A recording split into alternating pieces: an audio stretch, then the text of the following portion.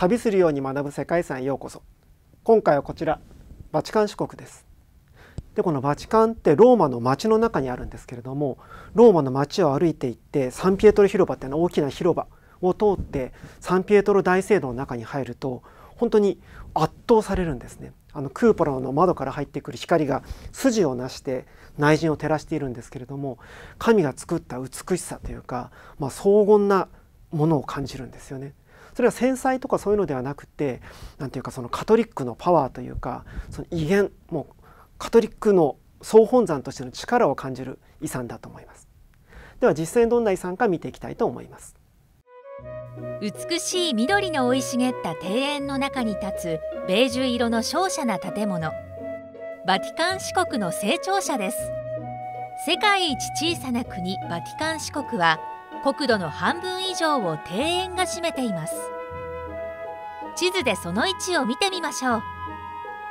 バティカン市国はイタリア半島中部に位置するイタリアの首都ローマの中にあります。面積は0.44平方キロメートルと東京ディズニーランドよりも少し小さい程度です。バティカン市国を代表する構成資産が円形の広場を前にして立つサンピエトロ大聖堂。世界最大のカトリック教会とも言われる巨大な聖堂です。サンピエトロ大聖堂はイエス・キリストの最初の弟子でローマで殉教した聖ペテロを祀った聖堂です。バティカンには聖ペテロの墓があると伝えられ4世紀にバシリカ式の聖堂が創建されました。16世紀初頭からブラマンテやラファエロミケランジェロなどルネサンスの芸術家たちが参加してサンピエトロ大聖堂の大改修が行われました。120年かかったその改修によって今日見る聖堂の姿が築かれたのです。サンピエトロ大聖堂の北側に立つバティカン宮殿はカトリック教会の最高位の聖職者ローマ教皇の住居です。バティカン宮殿の中のシスティーナ礼拝堂ではミケランジェロの傑作として名高いフレスコが最後の審判を見ることができます。さてここで問題です。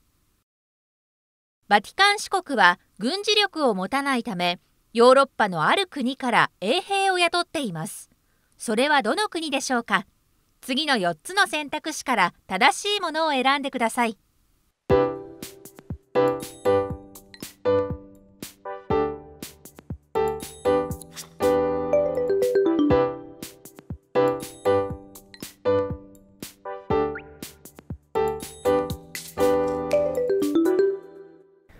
正解は3番のスイスです。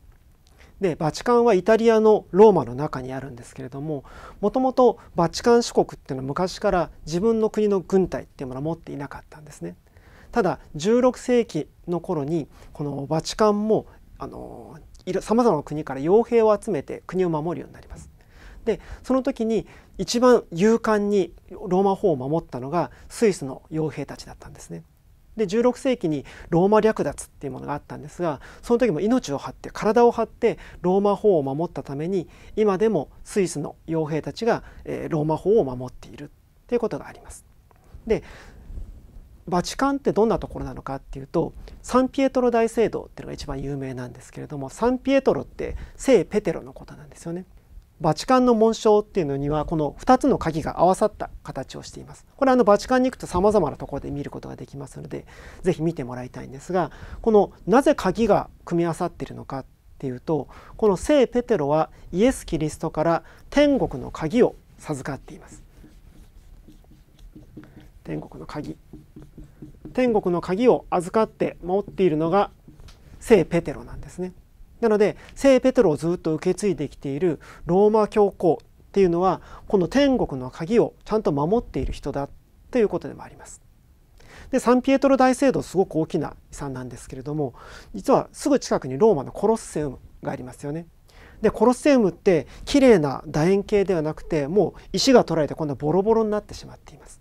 でなぜボロボロになっているのかっていうとここあの多神教だった時代のローマが廃れた後このカトリックの中心地としてローマが発展していく中でこのローマの時代に作られた建物石を使ってこのサンピエトロ大聖堂が作られました。